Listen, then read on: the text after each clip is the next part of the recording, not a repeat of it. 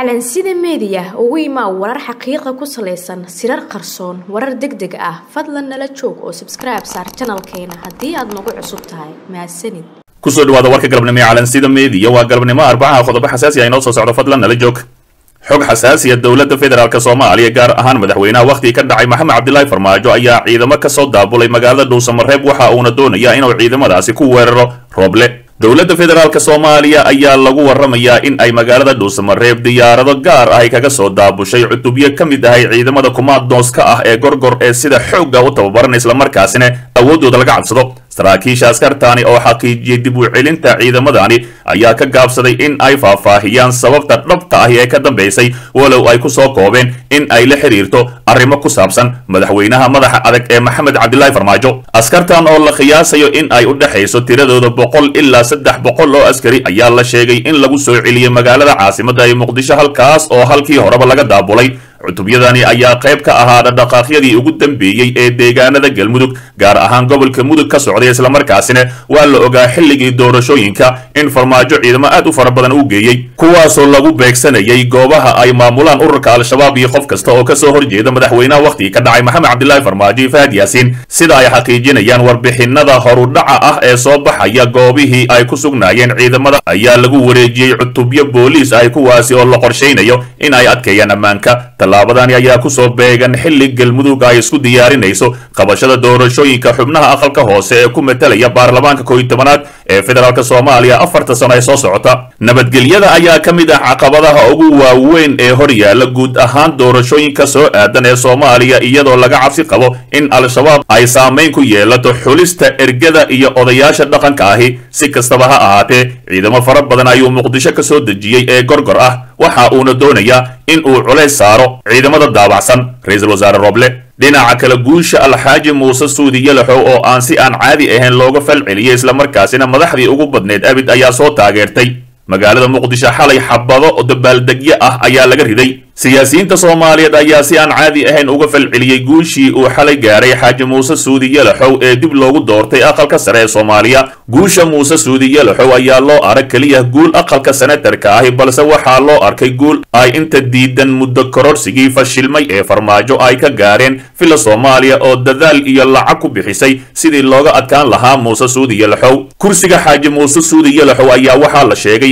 in uu gaaray ku dhowaad hal milyan oo dollar muuse suudi ayaa hormuud u ahaa dagaalkii ka dhanka ahaa muddo kororsiga farmaajo isaga oo hogaaminayay ruuxii ahaa ciidamada badbaado qaran ee fashiliyey muddo kororsigii kadib markii ay muqdisho soo galeen ciidamo aad u fara badan. Haddaba waa kuwee siyaasiyiinta ka falceliyey guusha muuse suudi yalaxow. Madaxweynihii hore soomaaliya xasan sheekh maxamuud hambalyo ayuu yidhi senatar muuse suudi yalaxow waxaan ku rajaynayaa inaad ku guulaysato. Mas'uuliyadda ay shacabku ku igmadeen waxaan bogaadinayaa dhammaan shacabka iyo mas'uuliyiinta dowlad goboleedka hirshabeelle waxaad qaadateen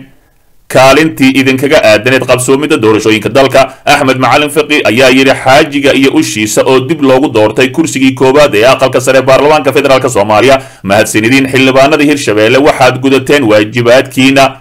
qaran waxaadna dhowrteen magaca hirshabeelle hambalyo xaaji muuse afar sano oo kale oo xaq iyo cadaaladda aad garab istaagi doontaan ayuu yidhi. Xildhibaan mahad salaad ayaa yidhi hambalyo alxaaji muuse suudiyalaxow duqii badbaado qaran ee reer hirshabeelle. Si sharaf leh ayay uga abaalgudeen madaxweyne cali guudlaabe iyo baarlamaanka hirshabeelle waa maasantiin ayuu yidhi musharax daahir maxamuud geelle waxaan hambalyo iyo duco u dirayaa walaalkay senatar xaaji muuse suudiyalaxow oo loo doortay xildhibaanka aqalka sare baarlamaanka federaalk soomaaliya. Waxaan sidoo kale bogaadinayaa dowlad goboleedka hirshabeelle ayuu yidhi. Musharax cabdiraxmaan cabdishakuur warsame ayaa yidhi waxaan u hambalyaynayaa senatar muuse suudi yalaxow oo mar kale dib loogu doortay aqalka sare baarlamaanka waxaan u rajaynayaa in ilaahay la garab galo xilka. Waxaa kaloo ammaan mudan madaxweynaha dowlad goboleedka hirshabeelle cali guudlaabi xuseen oo suuro geliyey doorashada tartanka furan. Sidoo kale musharax cabdikariin guuleed hambalyo senatar xaaji muuse suudi yalaxow oo mar kale dib loogu soo doortay xilkaasi waxayna ahayd doorasho si sax ahi loogu tartamay waxaan maamulka hirshabeelle iyo madaxweyne cali guudlaaba ugu bogaadinayaa kuna ammaanayaa doorashada daahfuran ee ay qabteen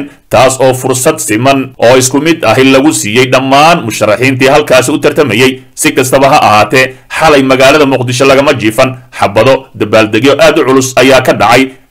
Kooxda filla soomaaliya ee nabad iyo nolol naxdin ayay sariiraha hoostooda la galeen fadlan dib u daaw wararkeenii hore ee calansida meediya xog xasaasiya ciidamo maalintii labaad isku hor fadhiya meel u dhow filla soomaaliya. Wararkii ugu dambeeyay ayaa ka soo baxaya waxaa maalintii saddexaad ciidamo la duldhigay xarunta taliska ciidanka nisa ee gobolka banaadir taasoo loo yaqaano godka jilocow sida ay ogaatay warbaahinta. Ciidankani oo ka tirsan hay'adda nisa ayaa kuwa loo yaqaano duufaan waxayna haatan gaadiidka loo yaqaano iyada oo la sheegay in qorshahoodu yahay inay qabsadaan xarunta nisa oo haystaan ciidan ka taageersan ra'iisul wasaare rooble ciidanka duufaan ayaa ah kan keliya ee ka tirsan nisa ee daabacsan farmaajo waxayna u badan yihiin maleeshiyo ku beel ah farmaajo iyo xubno horay uga tirsanaa al-shabaab balse dowladda isu soo dhiibay islamarkaasina si weyn uga amar qaato farmaajo. Si rasmi ahi looma oga sababta ciidanka maalintii saddexaad loo duldhigay xarunta godka jilacow shalay gelinkii dambe ayay ciidamadani tageen bannaanka godka jilacow waxaana muddo xiisad ka taagneed ay ka tageen xalay maqhribkii. Sidoo kale maanta ayay dib ugu soo laabteen ciidanka duufaan waxaana aagga taalada daljirka dahsoon ka jira xiisad culus iyo dhaqaaqyo ciidan. Oo u dhexeeya ayaga iyo ciidan kale oo ka tirsan nisa ciidanka waran ee ku sugan godka jilacow ayaa shalay iyo maanta hortaagan ciidamada duufaan waxaana laga cabsi qabaa in uu halkaasi ka dhaco dagaal u dhexeeya labada ciidan. Ciidanka duufaan ayaa raba in ay galaan gudaha xarunta godka jilacow oo ay qabsadeen waxaana u diidan kuwa waran oo hore ugu soo diiday xarunta habarqadiija. Ciidankani ayaa aad u taageersan ra'iisul wasaare rooble ciidamada waran ayaa waxaa hogaaminaya sargaal lagu magacaabo maxamed xasan oo ka amar qaata ra'iisul wasaare rooble kaas oo xaqiijiyey labada xarun ee nisa ee kala ah habarqadiija iyo godka jilacow ra'iisul wasaare rooble ayaa weli agaasimaha cusub ee nisa bashiir gooba geynin xarumaha nisa inkasta oo ay haystaan ciidamada isaga taageersan. Waxaana sababta ay tahay ciidanka xarunta ka jooga dibadda ee duufaan oo doonaya inay dagaal qarxiyaan haddii uu yimaado agaasimaha cusub ciidamada ra'iisul wasaare rooble ka amar qaata ayaa gudaha oo dhan haysta. Halka bannaanka jagboontigana ay joogaan ciidamada farmaajo ee beel ahaan u daabacsan asiga. Rooble oo doonaya inuu dagaal dhicin ayaa isku dayay inuu arrintaani ku dhammeeyo wadahadal degan dhinaca kale aamine maxamed oo ah xildhibaanad golaha shacabka ku metesha beesha ay ka dhalatay ikraan tahliil faarax ayaa sheegtay in farmaajo uu caddaystay inuu ku lug leeyahay kiiska ikraan tahliil kadib markii uu soo magacaabay guddi ay sheegtay inuu ku carqaladaynayo baaritaanka kiiska gabadhooda. Waxay sheegtay in farmaajo uusan marnaba diyaar u ahayn in kiiska ikraan tahliil oo cadaalad ku dhammaado taasna ay caddayn u tahay. Laba tallaabo uu qaaday kuwaas oo kale ah inuu diiday xilka qaadistii faad yaasiin iyo magacaabidda guddiga cusub. Waxay sheegtay inay la yaabeen markii uu farmaajo qoraalkiisa ku yidhi taliyaha nisa ayaa soo magacaabaya. Xubin ka mid ahay guddiga oo wax ka baara dembiga loo haysta nisa marar badan waxaa lagu celceliyay madaxweynaha hortaagan arrinta ikraan laakiin asiga ayaa bannaankiis keenay farmaajo haddii kiiskaani uusan ogeyn oo isaga uusan amrin muxuu uga diidan yahay cadaaladda ra'iisul wasaaraha waxaa leeyahay waalidka ikraan tahliil iyo ummadda soomaaliyeed aday kugu qanacsan yihiin ee cadaalad soo sameey ikraan meel ha lagu sheega hadday dhimatay meydkeedii noo keena haddaan labadaba lahayna dadka aan tuhmayno ee dacwadoodu maxkamadda la geeyey hana loo maxkamadeeya ayay hadalkeeda sii raacisay xildhibaanad aamino. Sidoo kale xildhibaanada ayaa sheegtay in ujeedka uu farmaajo ka leeyahay guddigaasi ay tahay in la baabi'iyo kiiska ikraan tahliil sida horey looga bartay dhowr kiis oo guddi loo magacaabay kadibna aysan waxba ka soo naasacadaanin. Dhinaca kale madaxweynaha galmudug axmed cabdikaari qoorqoor oo la kulmay wakiilada beesha caalamka madaxweynaha maamulka galmudug mudane axmed cabdikaari qoorqoor ayaa la kulmay qaar ka mid ahay danjiriyaasha beesha caalamka u fadhiya soomaaliya kulanka oo ay beesha caalamka ku matalayeen. Ergeyga gaarka ah ee qaramada midoobay u qaabilsan soomaaliya